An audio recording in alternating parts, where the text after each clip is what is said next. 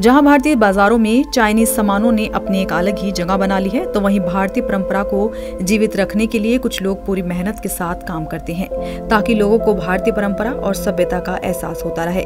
जी हम बात कर रहे हैं बिहार के बेगूसराय की, जहाँ पर दिवाली के अवसर पर मिट्टी के दियो से पूजा पाठ करना शुद्ध माना जाता है। बता दें कि मिट्टी के दिए बनाने का कार्य खासकर बिहार में कुम्हार और प्रजापति जाति के लोग करते आए हैं, लेकिन भारत के बाजारों में चाइनीज़ एलईडी से बना सामान इनके धंधे को मंदा करता जा रहा है। वहीं खास बात यह भी है कि लाख नुकसान के बाद भी इस जाति के लोग भारतीय परंपरा और सभ्यताओं को अपनी कड़ी मेहनत से जीवित रख रहे हैं। साथ ही इनका मानना है कि भले ही हम ज़्यादा मुनाफा न कमा पाए, लेकिन इतना विश्वास ज़रूर होता है कि लोग पूजा पाठ के काम और शुद्धता के मायने में मिट्टी के बने बर्तन और दिए ही उपयोग में लाएँगे। और इसी उम्मीद के साथ ये लोग मिट्टी के बर्तन और दिए बनाते हैं। जब इस बारे में मिट्टी के बर्तन बनाने वाले कारीगर से बात की गई तो उन्होंने कहा कि आज के समय में मिट्टी के बर्तनों की खरीदारी कम हो गई है, जिसका असर हमारे दैनिक जीवन पर पड़ रहा है।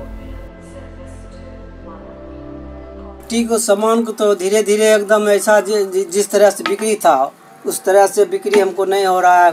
धीरे धीरे कमले, साले साल कमले जा रहा है। जिस तरह से पहले से बिक्री था, बहुत कम हो रहा है। इसलिए हमको प्रभाव बहुत पड़ रहा है गरीबों लोगों पर। उन्नीस सौ सतासी से हम काम कर रहे हैं। क्या है, जब से झालर आया है, हमको मिट्टी के दिए पर बहुत प्रभाव पड़ा है। जहाँ पर पाँच हज़ार सीलिंग था, तहाँ पर छः सौ छः सौ हज़ार पर एकदम बहुत सिमट जाते हैं। गरीब लोगों को हमको बहुत दिक्कत हो रहा है। वहीं दूसरी और एक स्थानीय दुकानदार बताते हैं कि चाइनीज़ सामानों की बिक्री दीपावली में इतनी तादाद में होती है कि साल भर का खर्च हम लोग इसी बिक्री से निकाल लेते हैं। हर एक साल से करीब 30 परसेंट, पैंतीस परसेंट रेट इंक्रीज बढ़ा हुआ है। तब भी हम लोग तो पटना से माल लेके आते हैं, खुदरा माल लेके आते हैं। बिक्री में कोई कमी नहीं है, महँगा होने के बावजूद भी बिक्री में कमी नहीं है। और मैं करीब पाँच सात साल से ये बेच रहा हूँ। राइस बल्ब हुआ, वाटेज बल्ब हुआ, ये सब का झालर आता था। अब क्या कि वो सब खत्म हो गया, खाली एलईडी बल्ब जो है उसी में वेराइटीज वेराइटीज आते रहता है। बहरहाल, जो भी हो, चीनी विज्ञान और भारतीय परंपरा के इस जंग में अगर मिट्टी के दिए बन रहे हैं और बिक रहे हैं तो कहीं ना कहीं भारतीय सभ्यता और संस्कृति अभी स्थापित है।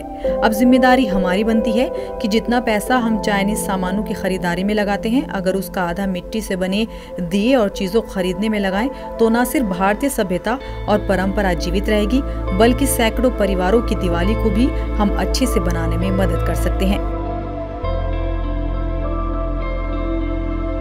बेगूसराय से जीवेश तरुण की रिपोर्ट।